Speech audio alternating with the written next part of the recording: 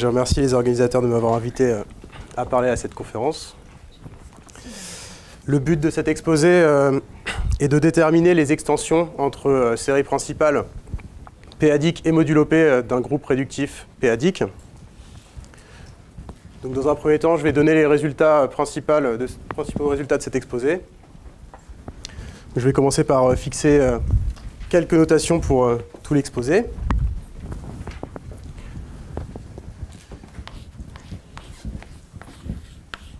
On se donne euh, f une extension euh, finie de QP. Et j'ai un groupe réductif connexe déployé sur F. Alors on fera les hypothèses suivantes sur G. On va supposer que le centre de G est connexe.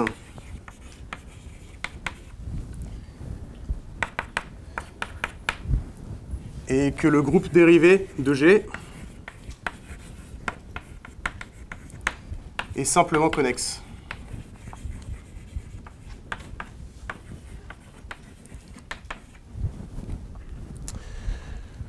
Donc euh, par exemple, euh, GLN ou encore GSP2N.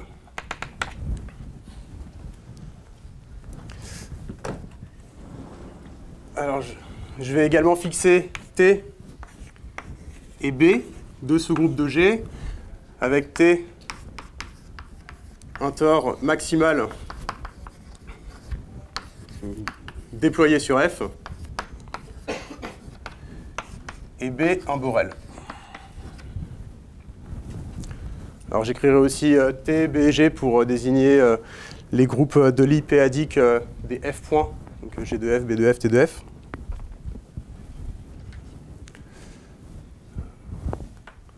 Je vais également noter N, le radical unipotent de B. Et B- sera le Borel opposé par rapport à t.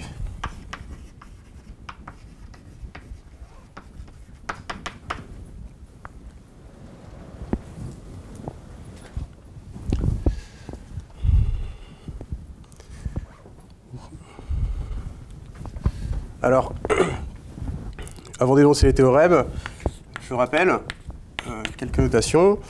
Si euh, qui... Ah, pardon. Il faut également que je, définisse, je vais également définir les corps de coefficients pour mes représentations. Donc E sera une extension finie de QP. Et je vais noter OE, l'anneau de ses entiers, pi e, une uniformisante de OE, et KE, le corps résiduel de OE. Maintenant, étant donné un caractère continu euh, de T dans OE3,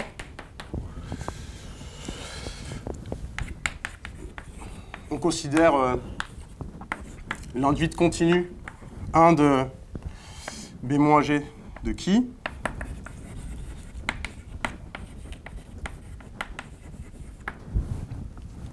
Et alors, euh, c'est une représentation euh, continue unitaire admissible de G sur E. Donc c'est un E espace de Banach, muni d'une action continue linéaire de G, et qui possède une norme invariante par G. Euh, j'utiliserai, euh, au lieu d'induire directement le caractère qui, on considérera parfois la normalisation suivante. On induira le caractère qui, epsilon moins 1 rond θ, où θ ou epsilon est le caractère cyclotomique, péadique.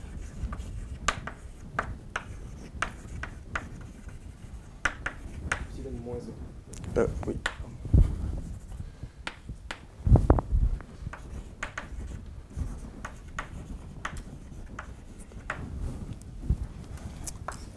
Et θ désigne la somme des poids fondamentaux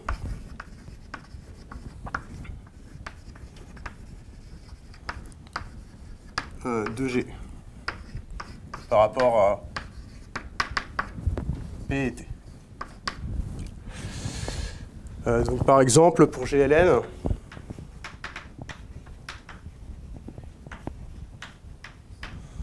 euh, θ est le caractère de- du tore défini par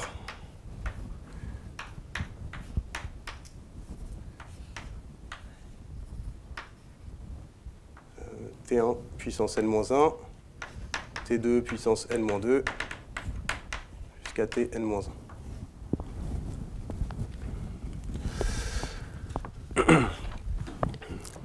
Voilà, et je rappelle enfin, avant d'énoncer le théorème,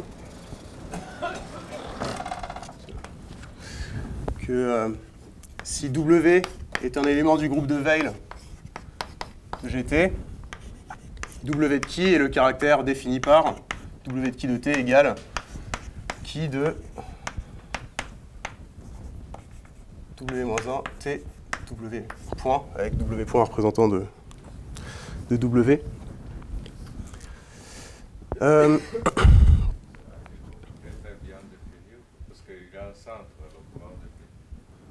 euh, c'est un représentant quelconque. On fixe un représentant.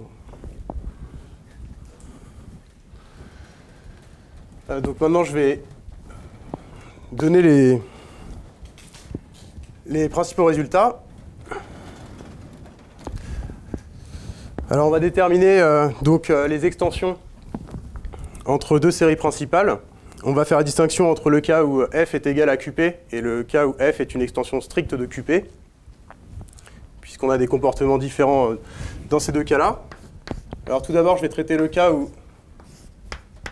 où on suppose que f est égal à qp, donc gln de qp, par exemple.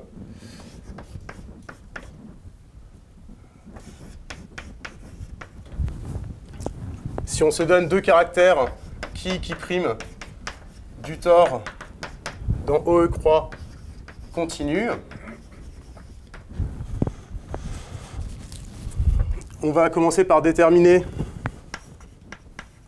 les cas où il n'y a pas d'extension, les cas d'annulation du extinct, c'est-à-dire les cas où il n'y a pas d'extension non scindée entre euh, les séries principales, les induites de qui et de qui prime.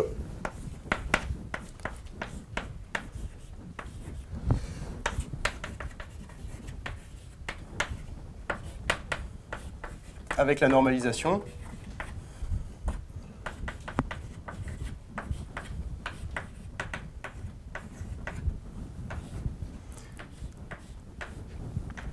Alors, cet espace est différent et non nul euh, si et seulement si, ou bien euh, les deux caractères sont égaux, qui prime égale qui. Dans ce cas-là, on a des extensions. Ou bien un second cas, moins évident, qui est euh, le cas où qui prime est égal à S alpha de qui avec alpha une racine simple. Donc pour GLN, euh, euh, ce second cas, c'est le cas où qui prime est le même caractère que qui, et sur lequel on a effectué une transposition. Donc euh, ceci donne euh, exactement les cas d'annulation. Alors je rappelle que les extensions sont calculées dans la catégorie des représentations continues unitaires euh, admissibles de G sur E. Maintenant, on va calculer la dimension de ce extinct euh, dans les cas où il n'y a pas annulation. Alors on va tout d'abord considérer le cas où qui est égal à S alpha de qui. Soit alpha une racine simple. Euh, on suppose que S alpha de qui est différent de qui pour ne pas retomber dans le premier cas. Et si c'est le cas, si S alpha de qui est différent de qui, alors dans ce cas-là, le extinct est de dimension 1. Donc à isomorphisme près, il n'existe qu'une seule extension, il existe une unique extension non scindée euh, entre pour toute racine. euh, la condition ici, euh, on, fixe une racine simple, et euh, dans ce cas-là, si S alpha de qui est différent de qui, alors on a,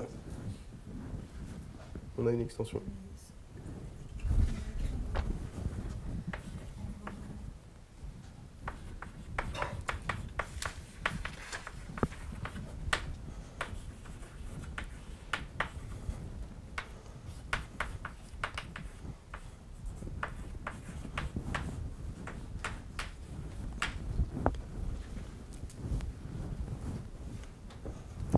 La question c'est s'il y avait un autre... euh,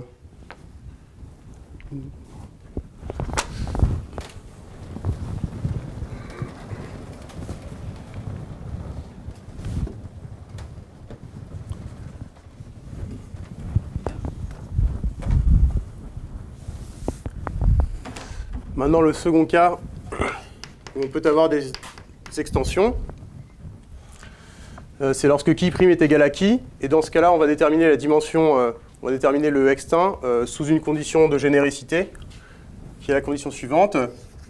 Euh, si, cette fois, S alpha de qui est différent de qui pour tout alpha racine simple,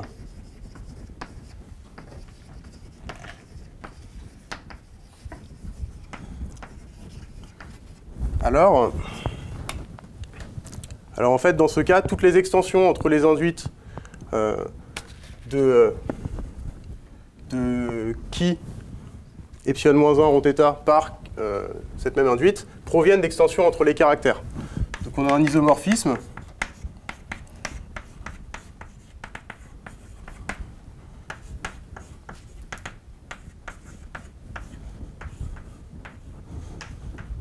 qui est induit par le foncteur exact d'induction.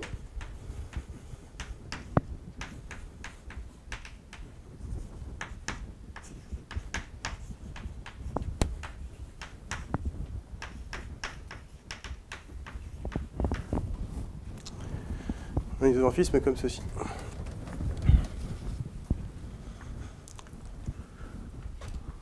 Donc voilà pour le cas où euh, f est égal à QP.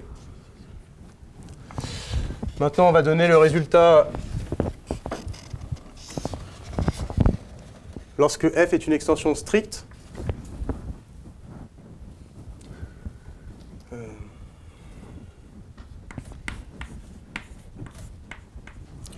Cette fois, on suppose que f est différent de QP. Dans ce cas, en fait, toutes les extensions entre euh, les induites de deux caractères proviennent d'extensions entre ces caractères. Si on se donne qui, qui prime de t dans O et croix des caractères continus, alors on a un isomorphisme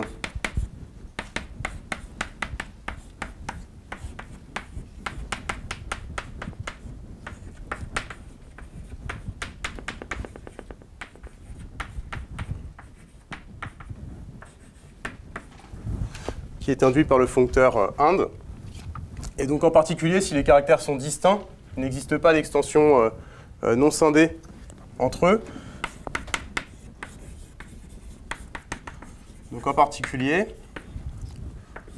euh, deux séries principales distinctes n'ont pas d'extension non triviale.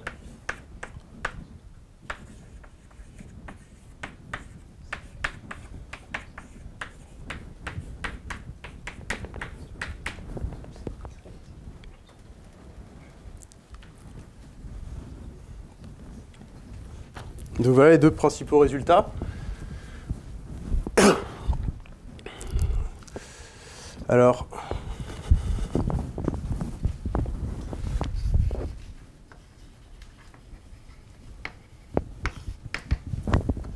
alors euh, ces deux résultats, le cas f égale qp et le cas f différent de qp, étaient déjà connus pour GL2 par Colmez, Emerton, donc GL2 de QP, et Breuil Pascunas, en particulier pour GL2 de F. Et euh, ils sont nouveaux par contre pour euh, les autres groupes euh, dans le cas général. Mais ils étaient attendus notamment par Breuil, Herzig et Emerton euh, dans le cas général. Alors la méthode, euh, que l'on va utiliser pour euh, les montrer, on va procéder par réduction modulo P puissance n et dévissage. Et au passage, on prouvera les théorèmes analogues modulo P, c'est-à-dire dans la catégorie des représentations lisses admissibles de G sur le corps résiduel de sur KE.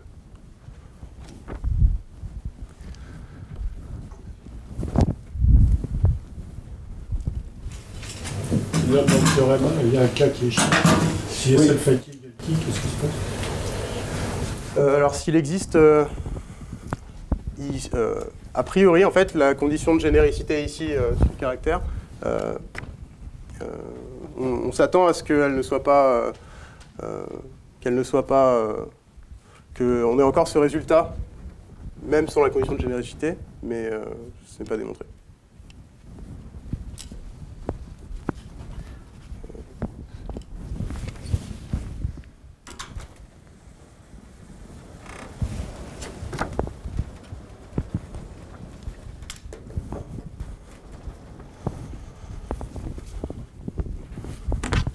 Maintenant, je vais euh,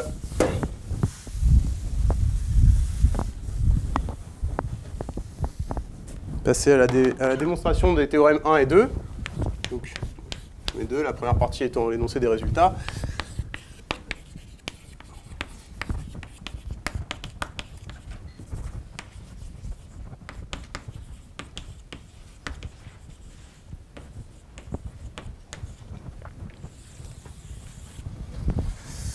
Alors pour cela, on va utiliser le foncteur des parties ordinaires d'Emerton et ainsi que ses dérivés. Donc en caractéristique, euh, en caractéristique P. Donc je vais fixer A, un anneau euh, de la forme OE sur pi puissance m avec m en entier. Et on s'intéresse à aux représentations euh, lisses localement admissibles de G sur A. Euh, localement admissible euh, veut dire que tout vecteur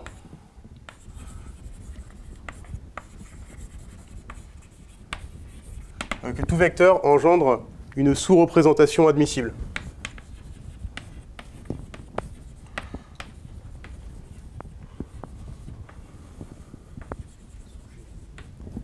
Euh, oui. euh, sous-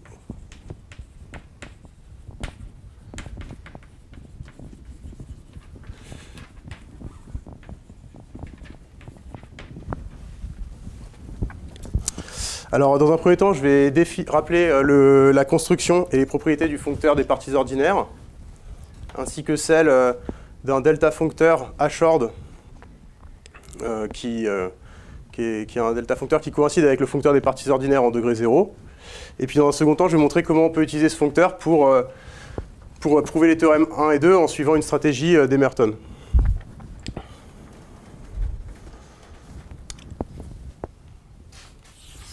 Alors euh, je vais fixer N0 inclus dans N un sous-groupe euh, ouvert compact.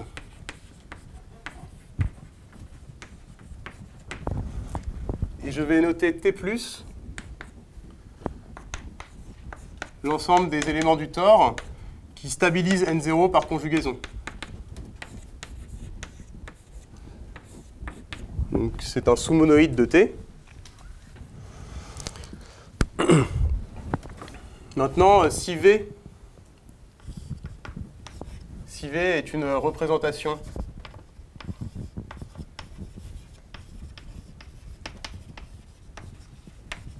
Euh, lisse euh, du Borel de B, euh, il existe une action de T+, oui, de Sur A. Il existe une action euh, euh, dite de et que, de euh, t plus sur l'espace des euh, n0 invariants. Je ne vais pas détailler cette action, mais elle intervient dans la définition du foncteur des parties ordinaires.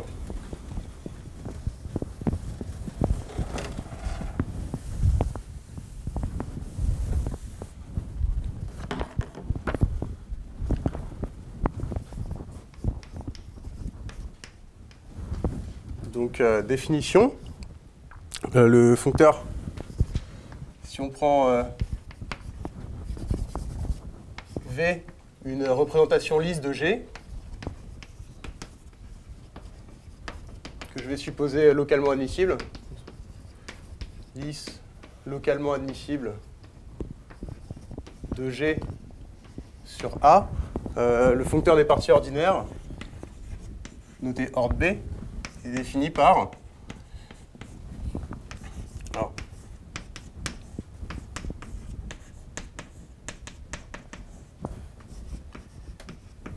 c'est donc le localisé euh, des n0 invariants de V. Euh, on rappelle que T plus agit sur V, euh, les, les n0 invariants de V. Et euh, le foncteur des parties ordinaires est défini euh, comme ceci en localisant en T+.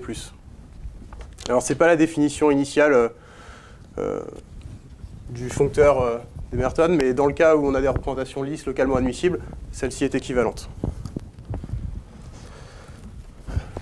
Alors, les principales propriétés du, de- du foncteur des parties ordinaires sont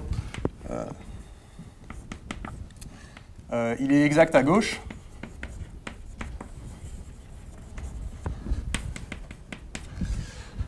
Euh, il préserve l'admissibilité.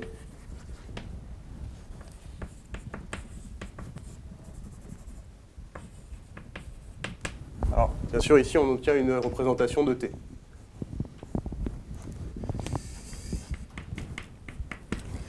Et enfin, c'est l'adjoint à droite du foncteur d'induction. Donc on a isomorphisme natu- naturel.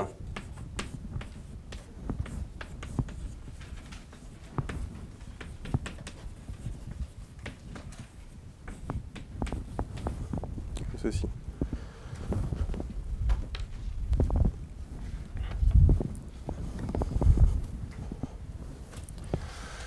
Alors, Emerton définit euh, un delta foncteur h-ord, donc une suite de foncteurs euh, hn-ord pour n en antinaturel, euh, qui en degré 0 coïncide avec euh, le foncteur des parties ordinaires. Je vais donner la définition euh, de h-ord. Euh, Donc, la définition dépend a priori de N0. Oui, on vérifie qu'en fait tout ça, euh, euh, a- on a un isomorphisme canonique entre le foncteur des parties ordinaires défini avec un autre euh, sous-groupe ouvert compact et euh, celui-là. Ça ne dépend pas à isomorphisme euh, unique près du, choix du sous-groupe ouvert compact. Donc, euh, donc on définit euh, on, avait, euh, on a une action du- de T+, sur euh, les N0 invariants. Et en fait, de façon plus générale, on peut montrer que, euh, que T+, agit sur tous les groupes de cohomologie de, euh, euh, N0 à valeur dans V. Et on définit en fait le nème Hn ordre B de V comme le localiser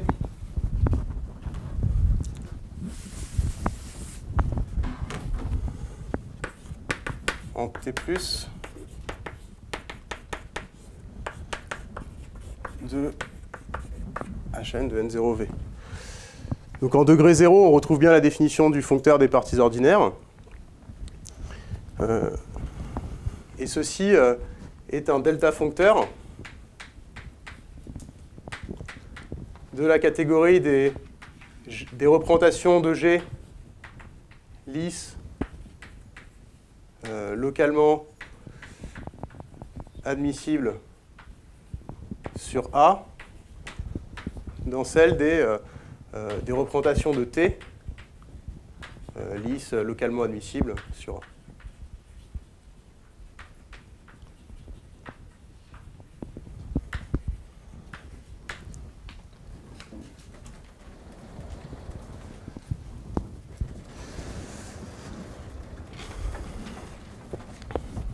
Maintenant, la catégorie euh, des représentations euh, lisses localement admissibles euh, de G sur A admet suffisamment d'injectifs. C'est pour ça qu'on a choisi cette catégorie, de se placer dans cette catégorie plutôt que dans la catégorie des représentations admissibles de G sur A.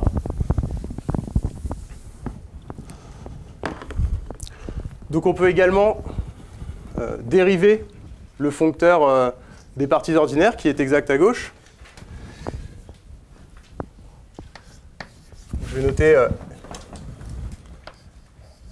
Rn ordre B, le euh, énième foncteur euh, dérivé droit du foncteur des parties ordinaires, dans la catégorie des représentations lisses localement admissibles de G sur A. Et la propriété universelle des foncteurs dérivés nous donne un morphisme de delta foncteur de Rn dans Hn ordre B, puisqu'il coïncide en degré 0 étoile. Et alors, euh, Emerton conjecture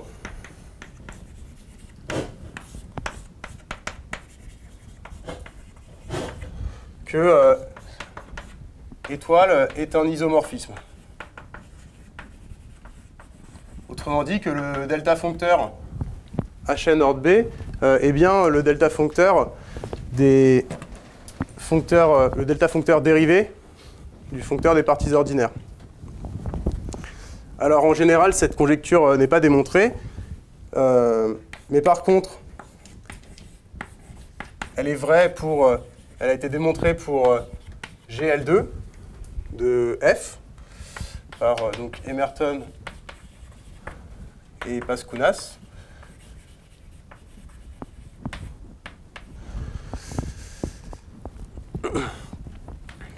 En général, on ne sait pas si, on a un- si ce morphisme est un isomorphisme, mais puisque en degré 0, on a bien un isomorphisme, alors par un lemme d'algèbre homologique, en degré 1, on va avoir une injection. Donc R1 ordre s'injecte dans H1 ordre. Et euh, ceci, euh, le fait qu'il soit vrai pour GL2 et, euh, et l'injection ci-dessous vont nous suffire pour euh, calculer les, nos extensions.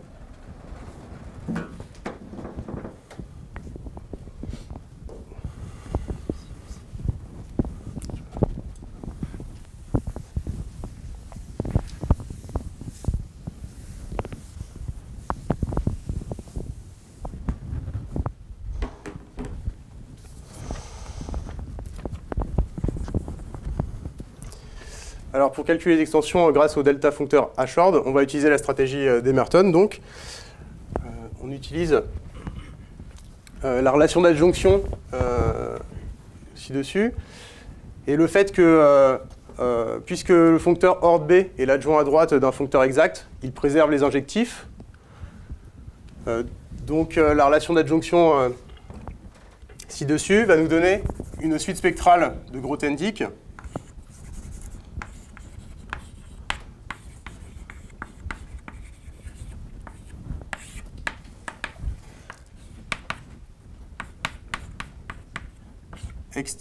euh, dans la catégorie des représentations de T.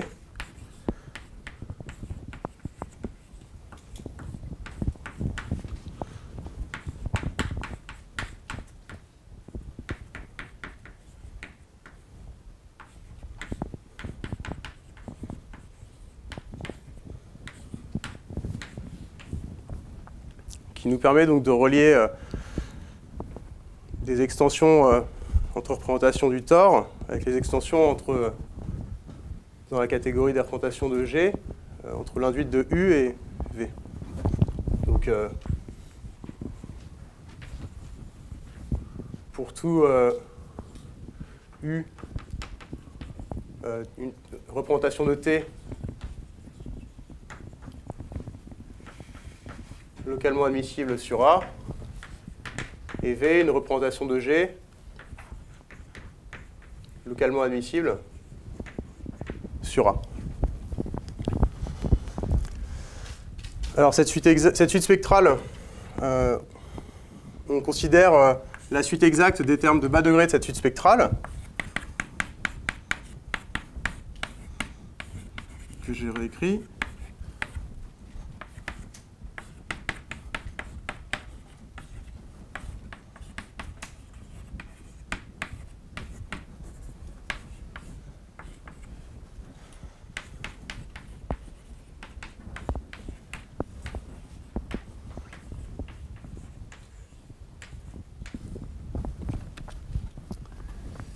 Et alors,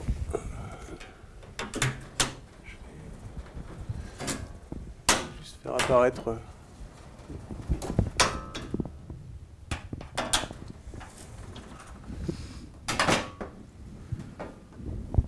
Donc en utilisant euh, l'injection canonique de R1 dans euh, H1, ORD, ici dessus, on voit que euh, si l'on remplace ici R1 ORD par H1 ORD, on a encore la suite, euh, cette suite-là est encore exacte.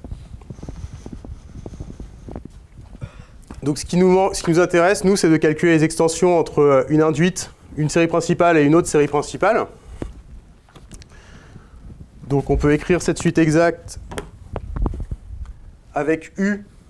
euh, on va écrire cette suite exacte avec U, euh, un caractère que je normalise.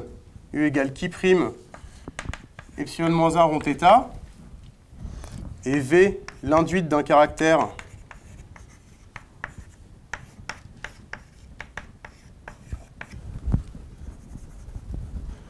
Voilà. Euh, Qui et qui prime sont des caractères lisses du tore dans la croix.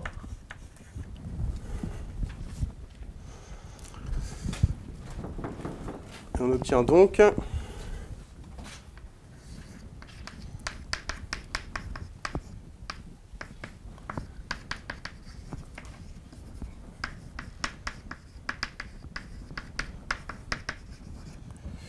Euh.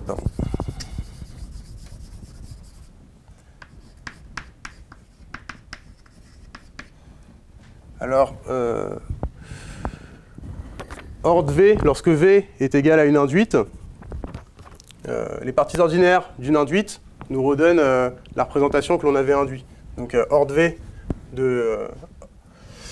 avec V égale l'induite de qui epsilon moins 1 rond θ nous redonne qui epsilon moins 1 rond θ.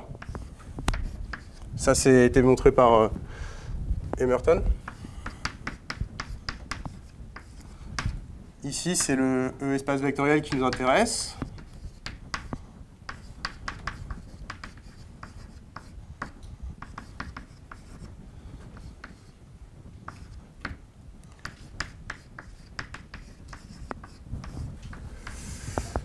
Et enfin,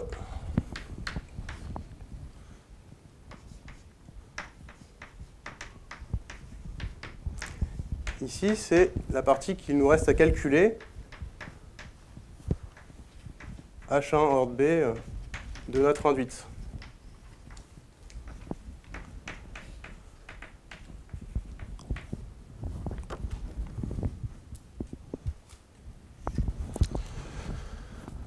Donc pour déterminer euh, ce, ce espace vectoriel, euh, il nous reste à calculer le foncteur H1 ordre sur une induite.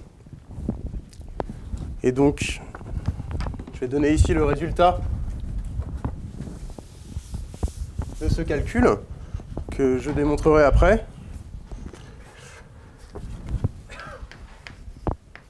Théorème 3. Alors sous l'hypothèse suivante, puisque le calcul est un peu plus général, on suppose, on va calculer en fait Hn ordre. Alors on va calculer H1 ordre dans le cas général et H0, euh, le foncteur des parties ordinaires, ce calcul était déjà connu.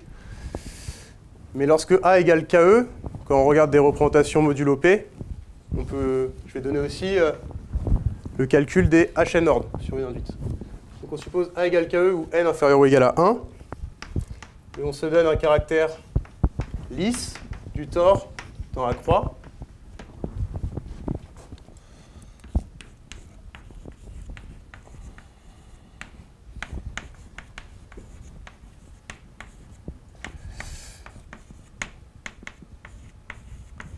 Alors, Hn ordre de l'induite de qui epsilon moins 1 en θ est égal à la somme directe sur tous les éléments du groupe de Weil qui vérifient degré de f sur qp fois la longueur de l'élément égale à n des w de qui epsilon moins 1 rond θ.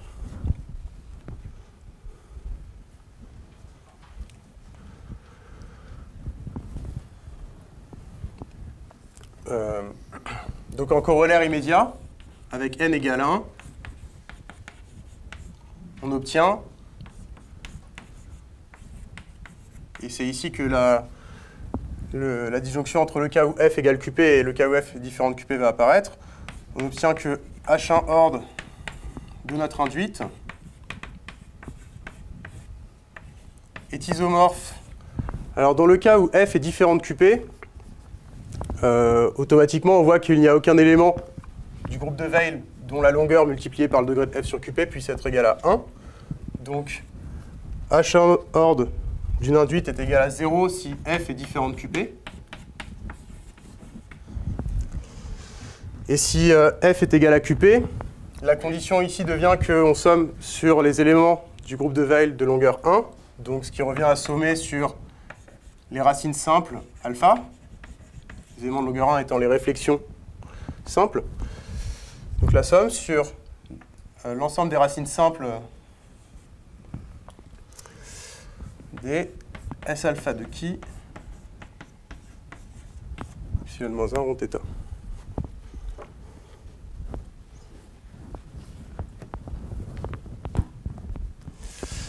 Voilà, donc en utilisant euh, ce théorème, je le montrerai euh, plus tard. Déjà en utilisant euh, ce théorème et euh, cette suite exacte, on peut démontrer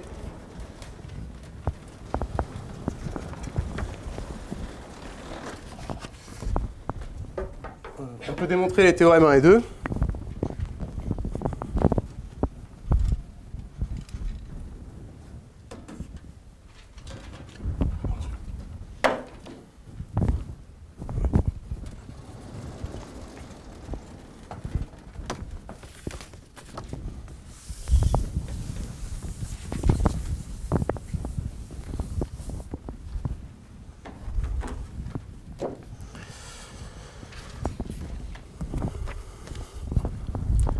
Alors tout d'abord, je vais démontrer euh, une version modulo P des théorèmes. Je vais démontrer les théorèmes 1 et 2, euh, le- leurs analogues dans la catégorie des représentations lisses admissibles euh, de G sur A. Donc on va tout d'abord commencer par supposer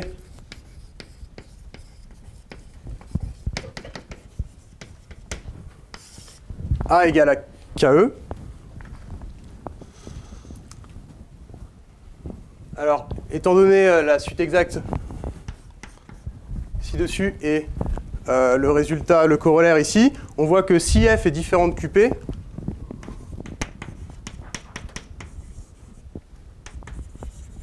euh, automatiquement le h1 euh, dans le troisième terme de la suite exacte est nul, donc la première flèche non triviale est automatiquement un isomorphisme. Donc euh, le théorème 2, euh, la version modulo P du théorème 2, euh, on obtient immédiatement.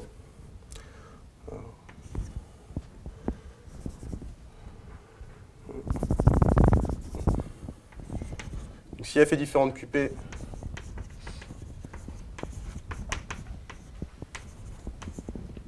on obtient directement le théorème 2. Donc maintenant, on va supposer que f est égal à qp. Et, on va prouver euh, le théorème 1 euh, modulo, la version modulo p du théorème 1.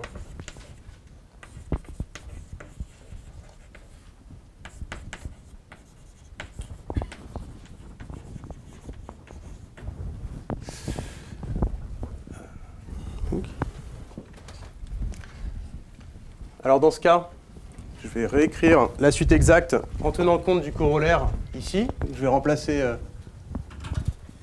H1 ordre par son expression.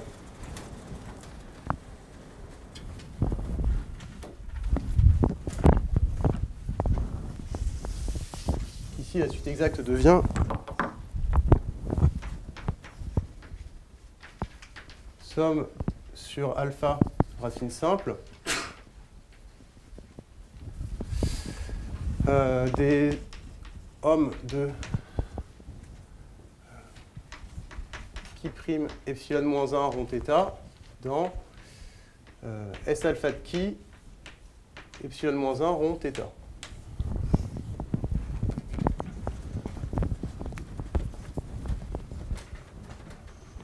Donc automatiquement, on obtient les cas d'annulation euh, du théorème 1, c'est-à-dire si euh, euh, prime est différent de qui? Alors dans ce cas-là, il n'y a pas d'extension non scindée entre euh, deux caractères distincts de t. Donc euh, ce premier objet est nul. Si qui prime est différent de qui? Et si qui prime est différent de S alpha de qui pour tout alpha racine simple, le second est nul. Donc on obtient bien les cas d'annulation.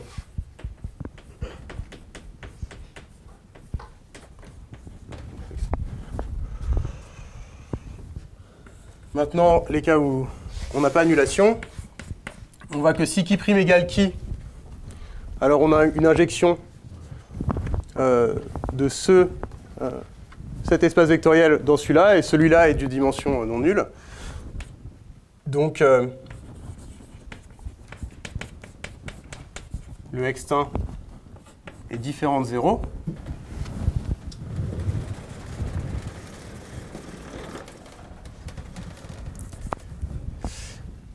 Et enfin, le dernier cas qu'il faut étudier, c'est lorsque qui prime est différent de qui, euh,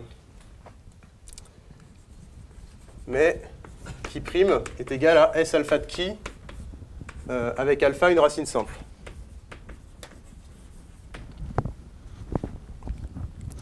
Dans ce cas-là, en fait, on utilise les résultats sur GL2 pour construire une extension non scindée euh, à partir d'un sous-groupe de G isomorphe à euh, GL2 au produit de GL2 et d'un tor. Donc plus précisément, notre racine simple alpha définit euh, un sous-groupe que j'appelle G alpha qui est engendré par le tor et les sous-groupes radiciels correspondent aux racines alpha et moins alpha. Et nos hypothèses sur G nous permettent de conclure que G alpha est le produit de GL2 et d'un tor.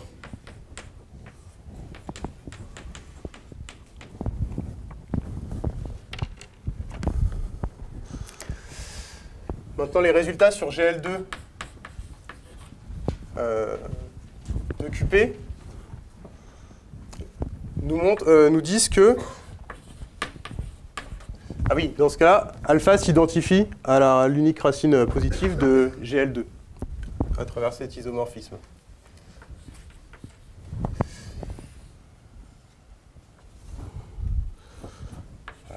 Maintenant, euh,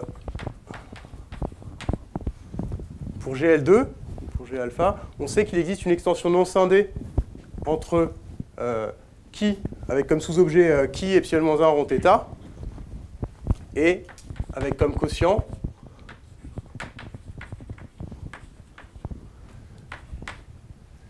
euh, S alpha de qui epsilon moins 1 rond θ. Et cette extension euh, non scindée, si on lui applique le foncteur euh, d'induction parabolique, voilà, en faisant une induction par étage, comme ceci, on va obtenir une extension non scindée euh, de, euh, dans le extant de G euh, au milieu de la suite exacte. Donc on construit comme ça explicitement une, extension non scindée.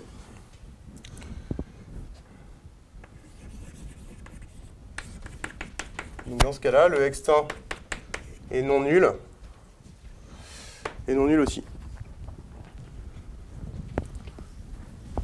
Donc on a comme ça les cas de déterminer les cas d'annulation. Maintenant, on détermine la dimension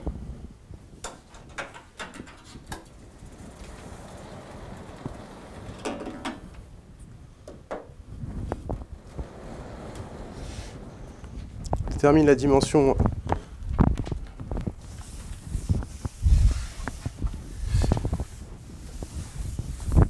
lorsque euh, on n'a pas annulation.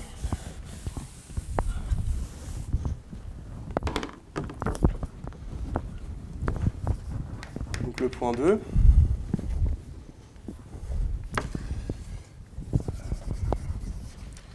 Je vais fixer euh, une racine simple alpha.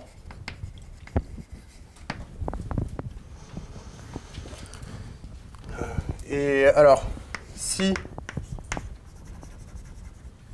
qui euh, est différent de S alpha de qui,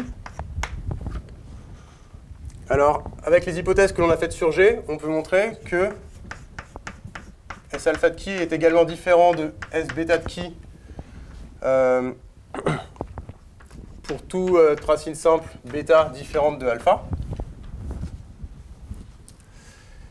Et dans ce cas-là, euh, euh, en utilisant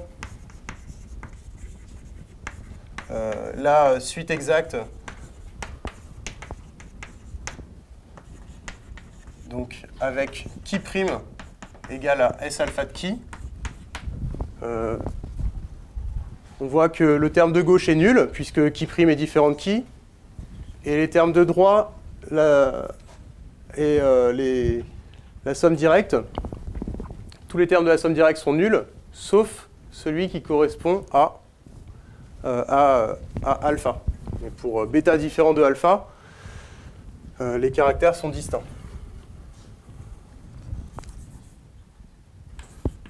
Donc on en déduit que la dimension sur E du terme du milieu est au plus égal à 1. Comme on avait montré que, euh, euh, qu'on avait pu construire explicitement une extension non scindée, euh, on en déduit que la dimension est exactement 1. Et enfin 3 euh, découle, 3 euh, découle immédiatement. De l'hypothèse.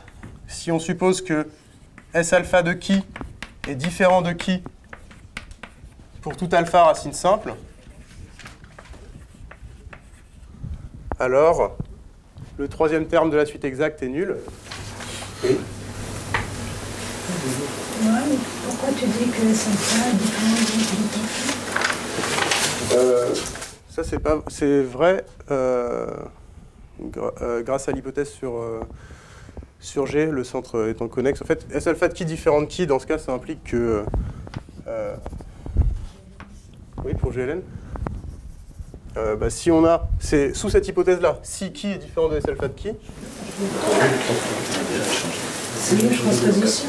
oui, Pourquoi pour les autres Parce que tu compares pas à qui, tu compares, pas- tu compares à S alpha de qui. ah oui, oui, Si, si, si, parce que tu changes pas à gauche.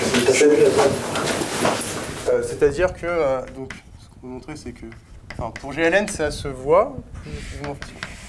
C'est-à-dire que si on a euh, fait une première transposition à un endroit et qu'on obtient un caractère différent,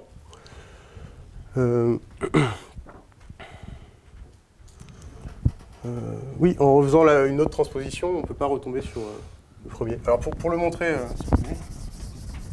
comme le centre de G est connexe, on peut montrer que S alpha de qui est différent de qui?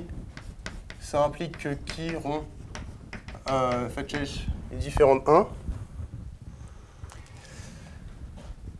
Euh, oui, en fait, c'est un peu calculatoire, mais euh, c'est pas, c'est pas tout de suite immédiat. Mais ça, c'est, ça marche parce que le centre. euh, Là, avec ce temps. Mais c'est pas comme euh, en fait, il, le fait faut supposer que le centre de G est connexe et on utilise les copoids fondamentaux. Pour GL3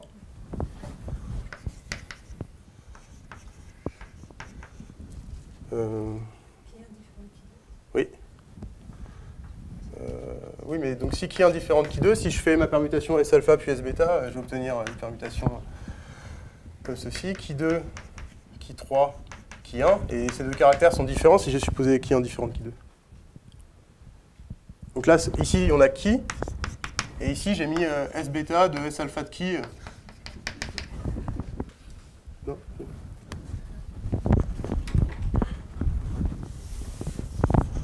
euh. Euh, Donc enfin, le troisième point découle immédiatement de... Si on fait cette hypothèse de généricité, alors dans ce cas, le troisième terme est nul. Donc, euh, euh, alors la première flèche euh, est un isomorphisme.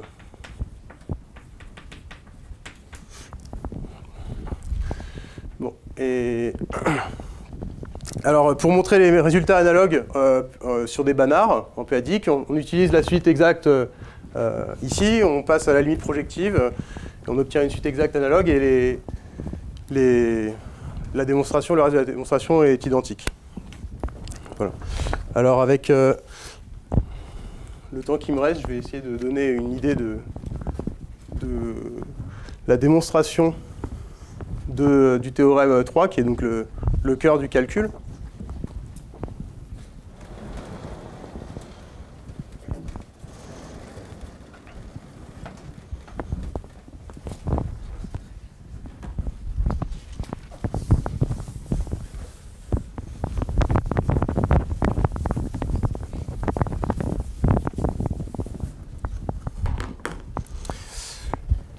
Donc, euh,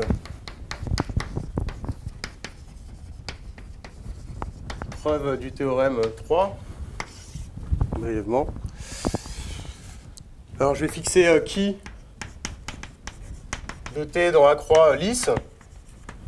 L'idée de la démonstration, c'est euh, euh, d'utiliser une filtration de notre induite de ind qui, de montrer que cette filtration induit une filtration des parties ordinaires dérivées de hand key, c'est-à-dire que cette filtration induit une filtration de hn ord de hand key, et enfin de calculer le foncteur hn ord sur le gradué pour, euh, en dévissant, en déduire le calcul sur la de hn ord sur la filtration tout entière.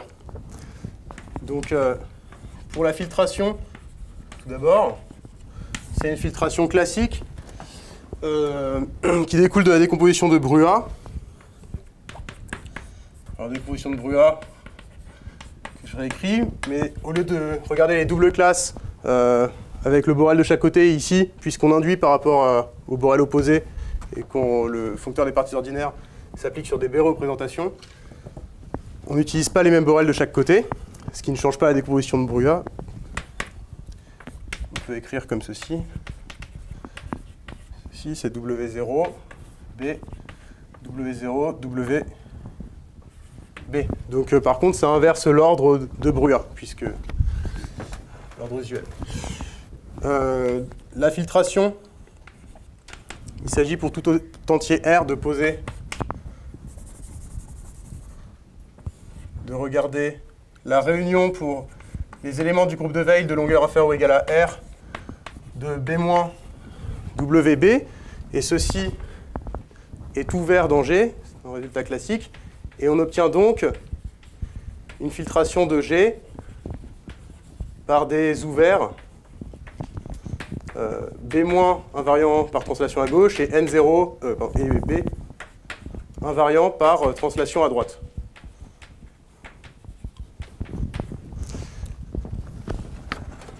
Maintenant, pour obtenir une filtration de mon induite ind qui,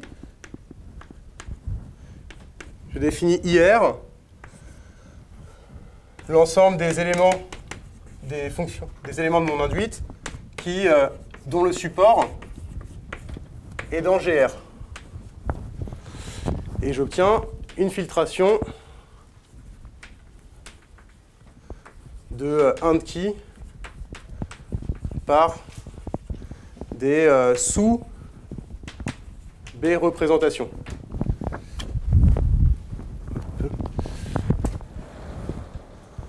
Alors, on expliquer.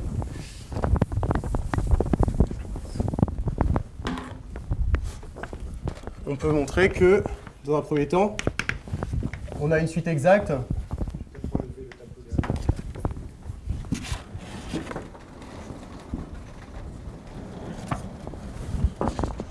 on a une suite exacte en fait quand on applique le foncteur HNORD.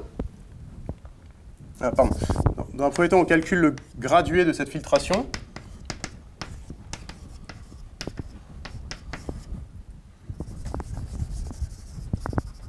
A une suite exacte comme ceci. La somme directe porte sur les éléments du groupe de Weil de longueur n, de longueur r, pardon. Euh,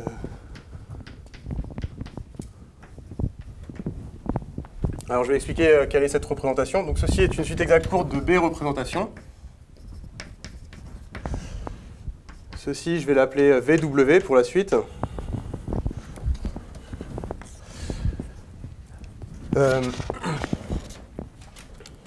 cette représentation, euh, le, module sous-jacent, c'est l'ensemble des fonctions localement constantes à support compact de NW que je définis comme ceci n inter w-1, euh, pardon, w n w-1, à valeur dans A. Et euh, on a une action de B sur VW, mais que je ne vais pas expliciter.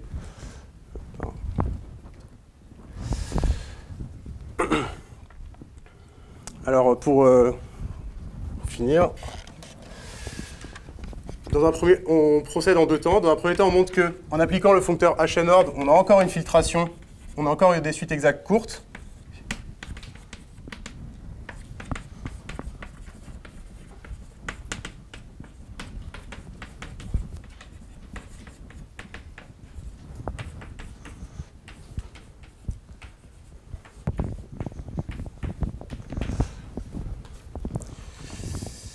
Euh, alors euh, je vais pas. Pardon? Euh, Alors euh, on montre en fait, donc en cohomologie, on, va montrer que la cohomologie, cette suite exacte n'est pas scindée, donc, mais cependant en cohomologie, on peut montrer que le morphisme induit en cohomologie par cette flèche-là est encore injectif. Si on utilise les cochaines, on regarde, on regarde à la main on montre que c'est injectif. Et ensuite, euh, en localisant, pour obtenir le foncteur HNORB, euh, la localisation va préserver l'exactitude. Donc on a une suite exacte comme ceci, c'est la première étape. Dans un second temps, il faut calculer le, le foncteur HNORD sur VW. Donc ça revient à calculer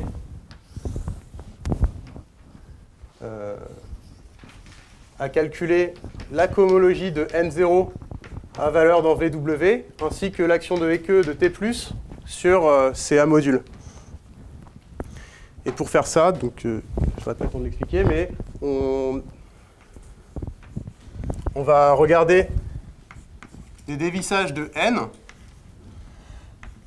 Euh, je vais fixer, je vais écrire W. J'ai une décomposition réduite, W égale S1, S, LW. Ceci. Cette décomposition réduite va nous donner des dévissages, une suite de sous-groupes de n, chacun étant distingué dans le suivant, et de codimension 1.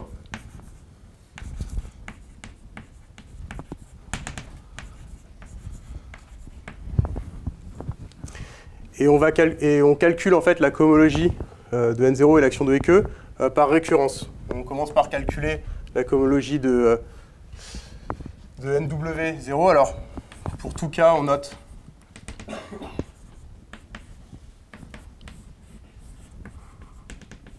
NS1 SK0, l'intersection de NS1SK avec N0. Et, et donc la fin de la preuve, on, procède par récurrence, on calcule la cohomologie de euh, NW0 pour commencer à valeur dans VW. Sur ces groupes de cohomologie, on peut aussi définir une action de Eck de T+. Et après, euh, pour la récurrence, on va utiliser la suite spectrale de Horschiltzer. Euh, cette suite spectrale, on peut montrer qu'en fait, elle va préserver les actions de Eck qu'on définit sur, euh, chaque, euh, sur les modules de cohomologie. Et donc, on va pouvoir procéder, on va pouvoir remonter comme ceci grâce au dévissage successif pour en déduire, pour en déduire donc la cohomologie de N0 à valeur dans VW et l'action de Eck. Alors, je vais juste écrire à quoi qu'est-ce que trouve.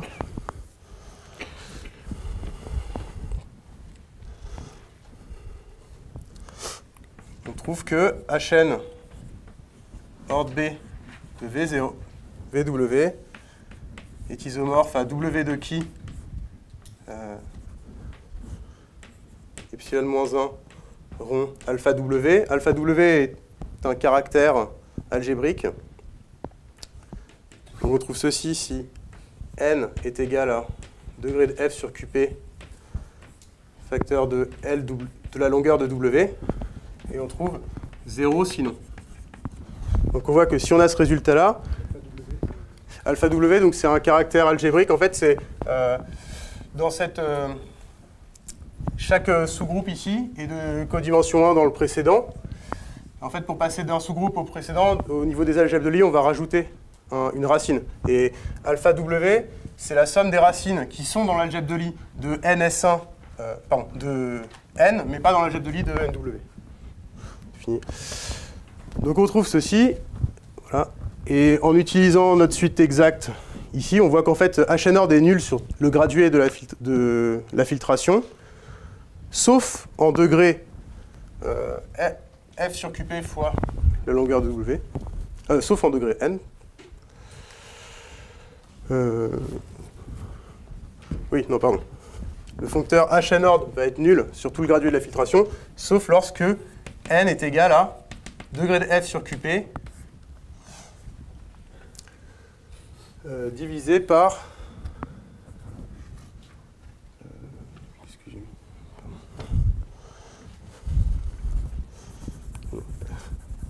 Sauf en degré. euh, F sur QP divisé par N lorsque ceci est entier. Donc, euh, euh, nos suites exactes, elles sont triviales, sauf pour R égale degré de F sur QP divisé par N. Et donc on en déduit comme ça le HN ordre sur l'induite tout entière. Voilà, je vais m'arrêter là.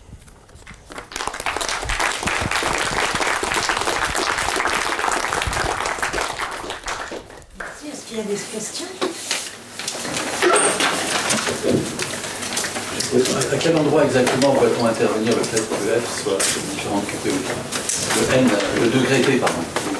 Euh, le degré, euh, en fait, euh, ça va être, euh, ça va venir du fait que nos quotients ici, les, les quotients successifs, euh, ce sont des groupes, euh, ils sont isomorphes à ZP puissance le degré de euh, F sur QP.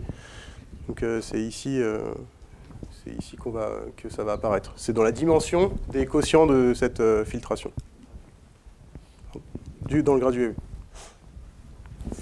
En général, est-il vrai que si K prime est égal à alpha K, xn, entre le cercle principal et non zéro pour n degré de f sur. Euh, ah, sur les ex de longueur supérieure Euh, Alors, euh, on peut montrer, avec la conjecture d'Emerton, on peut calculer les extens. Donc, si la conjecture d'Emerton est vraie, on va avoir que le exten entre euh, 1 de W de qui epsilon-1 rond θ et l'induite de qui epsilon-1 rond θ euh, est isomorphe à au n moins longueur de W fois le degré de f sur qp, représentation de t, de la représentation triviale. Le... Alors après, donc, euh, ça c'est sous en supposant la conjecture d'Emerton et euh, sous certaines hypothèses de généricité sur qui? Donc, euh, par exemple, si on avait, euh, là on avait une extension non scindée lorsqu'on regardait un caractère, l'induite d'un caractère et l'induite de sa transposée. Si maintenant on regarde l'induite d'un caractère et l'induite de ce même caractère, mais sur lequel on a effectué deux transpositions, le x1 va être nul, mais par contre le x2, lui, sera de dimension 1.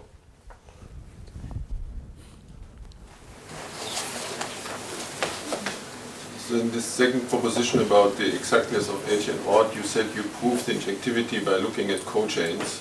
Yes. Does this mean this al- already exact just for the N0 cohomology? Yes, it's already exact for the n0 cohomology. So this means on H0, for example. So can one see why this the invariance on the invariance this is exact? Uh, yes. Uh, but to prove the, uh, for your question, it suffices to prove that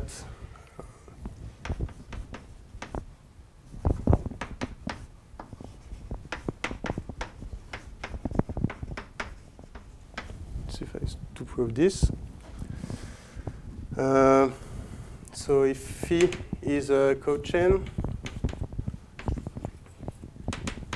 and uh, let uh, iota be uh, the inclusion. Yes. So suppose phi is zero uh, under this arrow.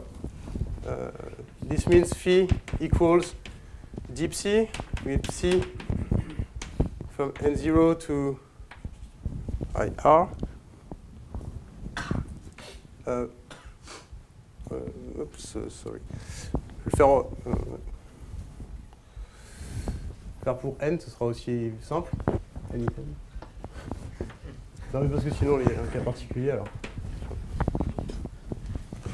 Um, so the,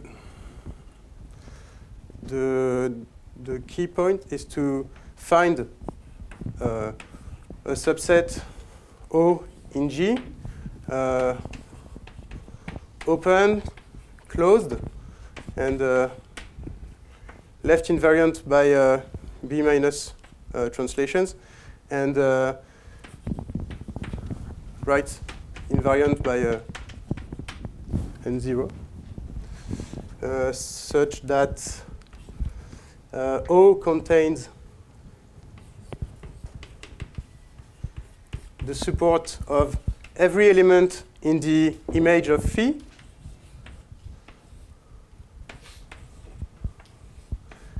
and O is contained in uh, G R minus 1. So one can show this it's, uh, using uh, uh, using uh, the topology of uh, this quotient. And then uh, then we, we can define an application from uh, IR to IR minus 1 by this. This is well defined and, and N0 uh, equivalent. And, uh, and now uh, we have uh, D,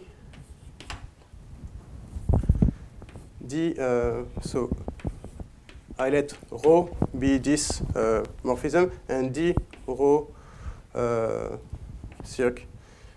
Uh,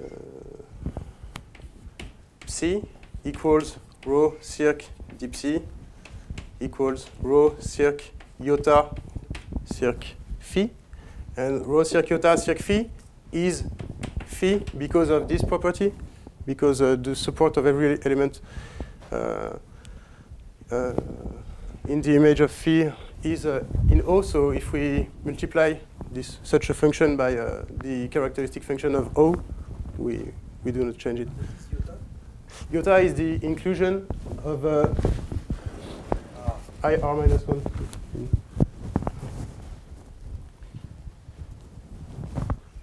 Does this uh, answer? Sorry? Oh, yes, we, we can find such an open, but uh, not for the, the, the whole exact sequence is not split, but for uh, uh, the, the, the key point is that uh, phi is locally constant and, and zero is compact, so there are only finite numbers of, uh, uh, of uh, functions in, in its image. No, more question? So you should thank your organizer. Thank you.